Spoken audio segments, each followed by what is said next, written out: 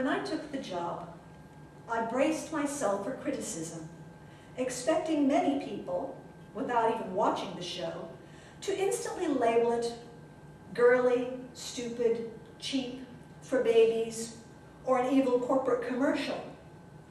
I encourage skeptics like this to watch My Little Pony Friendship is Magic with an open mind. If I'm doing my job right, I think you'll be surprised. Lauren Faust, executive producer of My Little Pony Friendship is Magic, Season 1. A number of years ago, I shared a table with strangers at a comedy venue. During intermission, we chatted. For some reason, gender politics was on my mind, and I burst out with, why are we teaching our girls to be more aggressive? Why are we falling in line with the belief that you achieve equality by taking on the characteristics of a white alpha male? Why don't we teach boys to be kind? I thought I was really in for it with that rant. I thought for sure the men were going to get defensive and I was going to regret opening my big mouth. Instead, the men at my table looked sad, nodded their heads, and said, that would be nice. Even as a child, I wanted to live in a world with a flourishing natural environment and friendly people everywhere. Surely we've all dreamt of that. Politics, science, economics can only go so far towards building such a world. People together need hearts and minds that embrace that goal. They need values that help them prioritize between individual, community, and planetary goals and create balance. Religious leaders such as Mohandas Gandhi, Desmond Tutu, Martin Luther King Jr., Thich Nhat Hanh have done much to teach the power of kindness.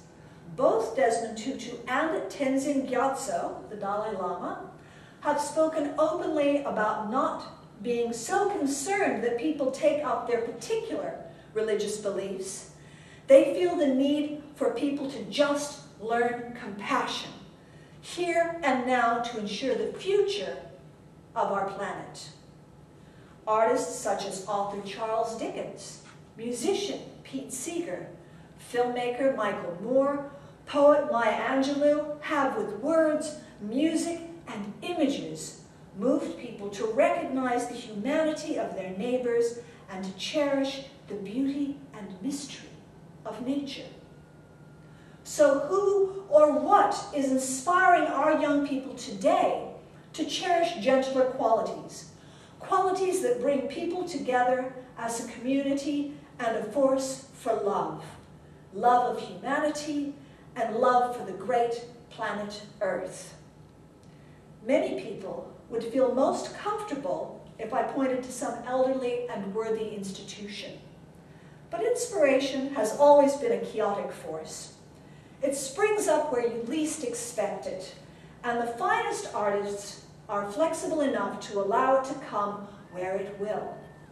So I put it to you that the most astounding movement for kindness to raise its head in recent years is My Little Pony, Friendship is Magic. Yes, we are talking about the bronies. My Little Pony began its life as a toy marketed to little girls. This toy had an attached animated series to help sales. If you go back and watch some of those original shows, you'll find they're simple entertainments, without a lot of complexity or depth. When Hasbro decided to renew this toy line with another animated series for the fourth time, they brought animator Lauren Faust as the creative director and executive producer for the show. Previously, Lauren Faust had worked on the television series Powerpuff Girls and Foster's Home for Imaginary Friends, the latter for which she won an Emmy Award in 2008. Like myself as a child, she was unquestionably a girl, and she never let that limit her. She watched animated features like Lady and the Tramp, and read superhero comics like X-Men or Teenage Mutant Ninja Turtles. Personally, I was a Spider-Man fan. So, when she took the helm of My Little Pony, she wanted to make sure that the portrayal of girls showed more depth and breadth than you normally find in a children's production. She then wanted to put these female characters into stories that were more challenging and emotionally truthful than you normally find as well. What she didn't count on was that these same stories were going to have resonance with grown men. Bronies is a portmanteau word combining the words brothers and ponies, though these days it equally applies to the girls. Faust's My Little Pony, Friendship is Magic, was launched October 2010. By June 2011, less than a year later, the first BronyCon was held in New York. Certain episodes have attracted more than a million viewers in the US, and it is now seen in more than 140 territories around the world. When psychiatrist Dr. Patrick Edwards and neuropsychologist Dr. Marsha Redden asked for My Little Pony fans to answer surveys about themselves, they received more than 24,000 responses. These are some of their findings.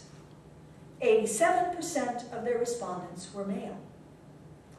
53% of the subjects were under the age of 20, with the next largest group, 41%, being between 20 and 30 years old. The average age of the population was 21.33 years, with the oldest Brony being 57 years old. Maybe we can bump that a little further. Some people think of Bronyhood as being a gay thing, but 70% of the Bronies describe themselves as being heterosexual. 12% identify themselves as bisexual, and 2% describe themselves as homosexual.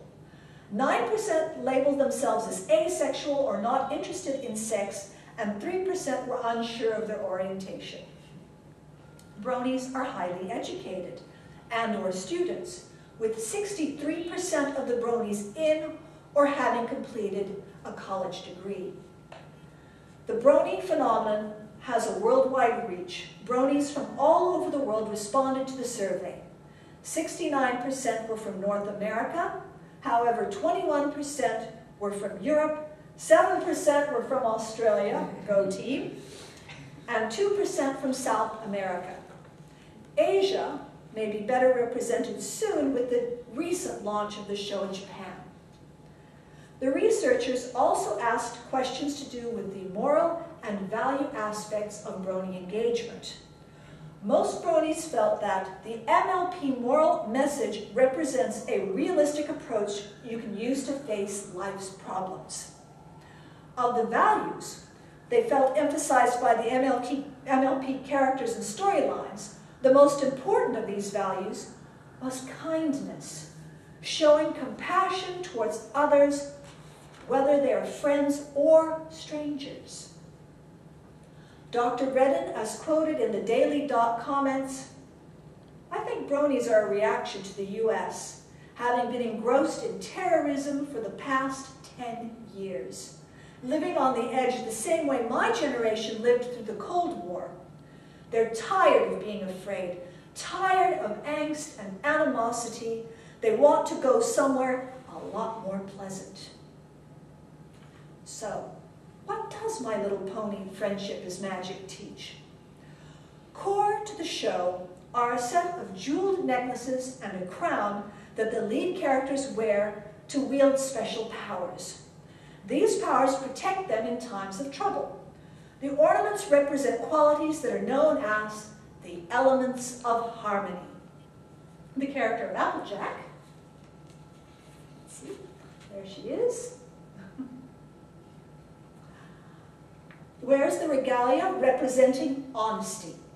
She is portrayed as a straight-talking farm worker who believes in the values of hard work and integrity. She often demonstrates that speaking the truth brings with it understanding and the possibility for growth among friends. you want to pass that around? Take a close look. The character of Fluttershy. I'm looking a little Fluttershy myself today. Where's the regalia of kindness. She cares for the many animals who live around their town of Ponyville. Fluttershy undoubtedly represents our Unitarian Universalist value of respect for the interdependent web of all existence of which we are a part.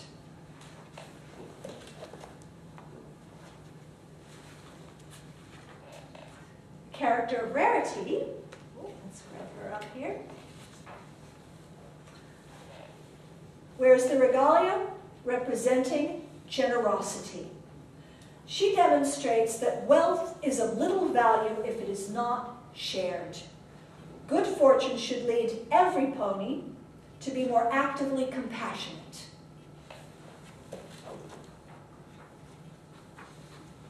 The character Rainbow Dash. She's a big favorite with the bronies.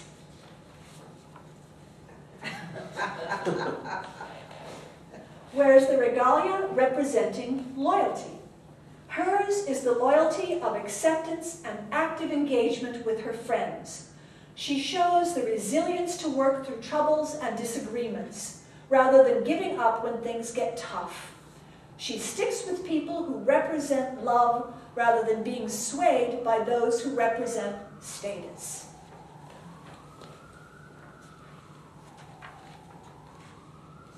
Oh, you love this one. Kind of like her too. The character of Pinkie Pie wears the regalia representing laughter.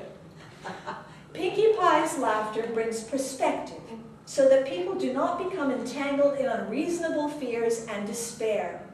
Her laughter also bonds people through good times.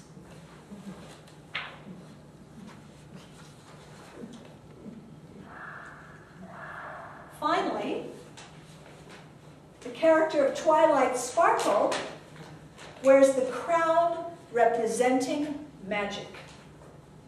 But you must remember that in My Little Pony universe, friendship is magic.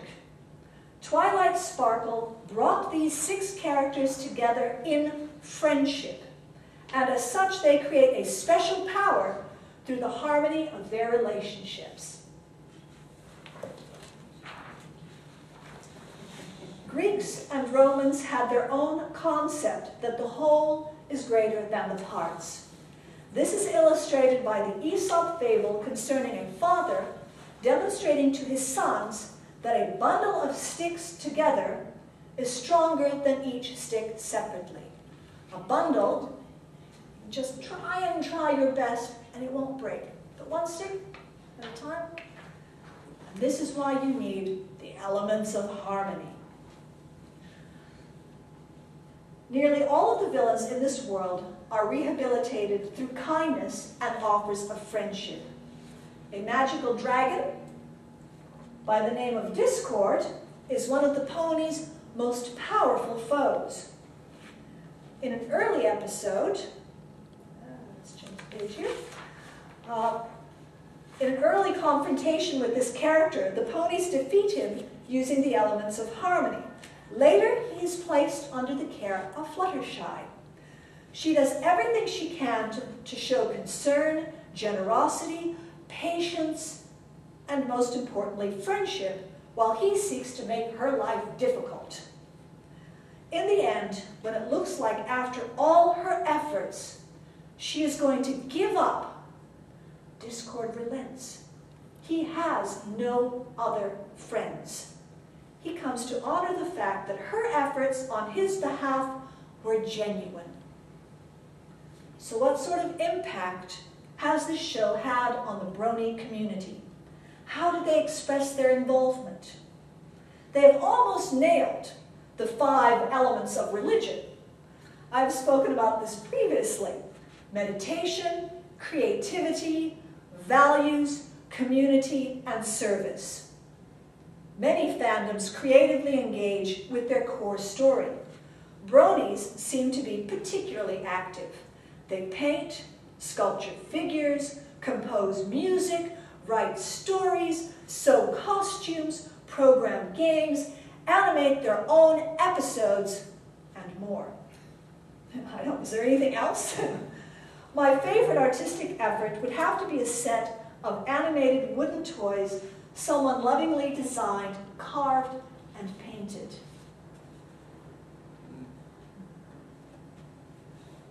You turn the crank, and in the case of the Applejack toy, she kicks an apple off of the tree, and the apple falls to her dog. It's just exquisite. And all the other ones are pretty amazing too. As far as service goes, I have never participated in a fan group that is so dedicated to charity work. Two particularly large Brony charities are Bronies for Good and the Brony Thank You Fund. The Thank You Fund statement of purpose reads, the Brony Thank You Fund exists to promote and collect donations to worthy charitable organizations, especially those centered around children.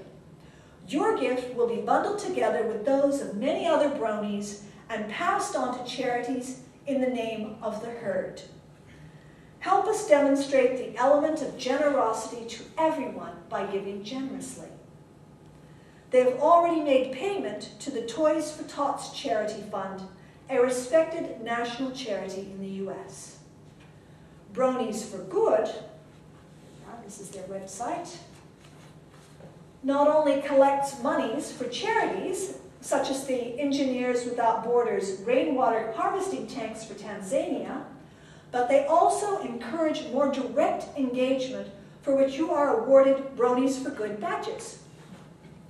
Currently, they are running a blood donation drive, encouraging people to give three hours of volunteer time to a soup kitchen or animal shelter, or participate in social justice activities. Now, they just need to produce some My Little Pony Friendship is Magic guided meditation CDs, and hey, they're one of us. After hearing all this, I would like to put it to you. How many of you would like to be bronies? Because I am sure as anything, this, this sort of joyous engagement with what is life-affirming is where I want to be. There is a thing bronies do where they touch each other's knuckles in affirmation called a bro hoof. All right, you go like this. All right, with each other though. So let me encourage you right now to bro hoof one another. Today we can be Unitarian Universalists and bronies. bro hoof. Hey, bro hoof. Woo-hoo!